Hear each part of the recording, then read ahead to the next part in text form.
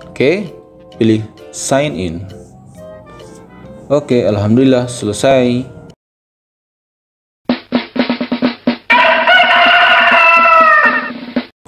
Assalamualaikum warahmatullahi wabarakatuh.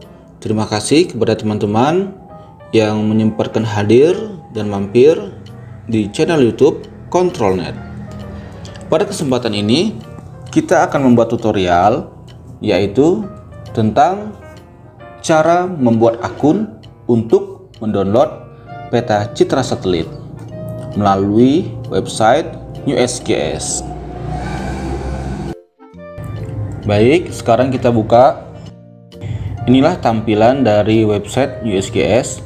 Nanti linknya akan saya letakkan di deskripsi. Kemudian di sini kita bisa melihat tampilannya ya. Tampilannya itu seperti ini. Oke.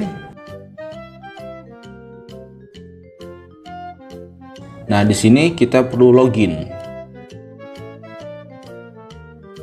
Nah, di sini saya sudah membuat, tapi kita akan membuat create new account, yaitu kita akan membuat akun baru. Tentunya syarat kita membuat akun ini kita kita harus memiliki email. Oke.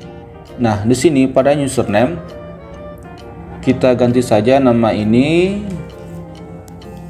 dengan nama sesuai yang kita inginkan. new passwordnya usahakan untuk new password itu agar langsung terkonfirmasi.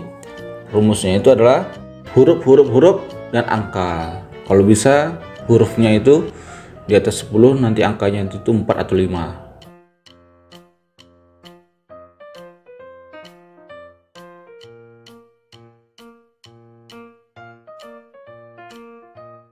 Oke, langsung kita klik continue.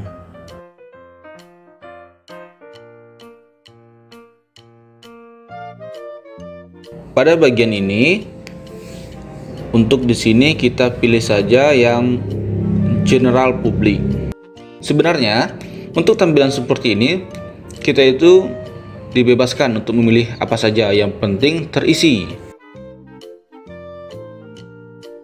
oke nah di sini saya itu memilih forest science management. Kemudian pada bagian ini karena forest science management sudah terchecklist ya kita checklist yang agrikultural. Kemudian kita lanjut. Di sini kita pilih saja yang sum of the data. Lalu di sini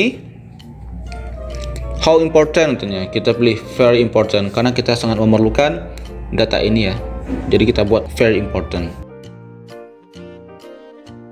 Nah, jangan lupa pada bagian awal tadi kita membuat namanya semua data jadi first name-nya kita buat di sini semua. Kemudian last name-nya kita buat data. Pada company ini kita terserah kita buat apa saja. Di sini saya buat saya data namanya. Kemudian pada bagian address ini terserah teman-teman mau buat apa nama daerahnya terserah, tidak masalah. Lalu country jelas kita di sini kita pilih yang Indonesia. Kita pilih Indonesia. City oke pada bagian city ini boleh pilih Solok ataupun Padang ataupun Palembang dan lain sebagainya.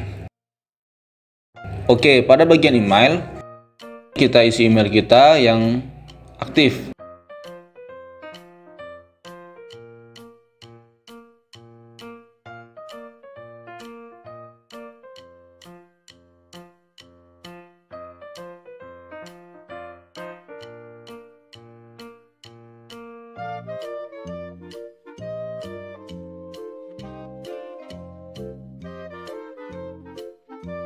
Baik, untuk nomor telepon, nomor telepon ini dan nomor fax itu kita buat saja nol ataupun angka.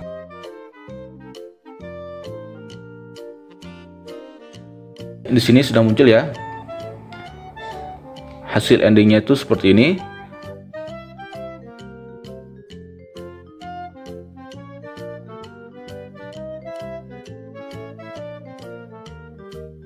Setelah muncul seperti ini ya kita pilih submit registration. Oke, kita lihat di sini keterangannya. Check your email for confirmation message. Oke.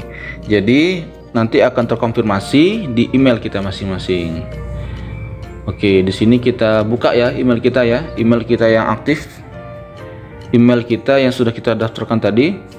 Di sini kita lihat belum ada konfirmasinya. Rentan waktu untuk kita menunggu konfirmasi dari USGS itu kurang lebih sekitaran 10 sampai 15 menit baru dikirim melalui email kita.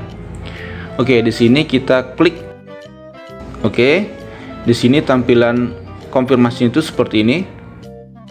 To complete the registration process, you must click the link below. Kita klik. Oke, di sini kita masukkan nama kita ya. Tadi kita buat semua data. Oke, submit.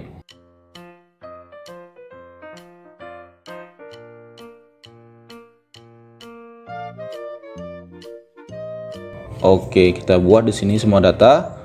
Passwordnya kita tulis.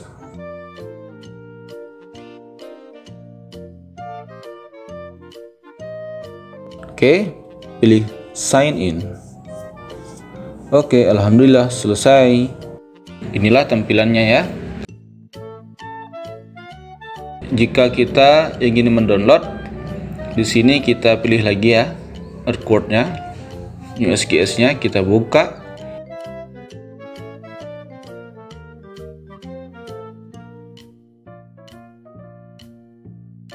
kemudian perhatikan pada logout.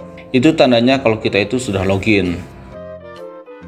Baik itu saja video kita pada kesempatan ini. Untuk video selanjutnya kita akan melakukan tata cara untuk mendownload peta citra satelit. Kemudian kita lanjutkan dengan mengolah peta citra satelit.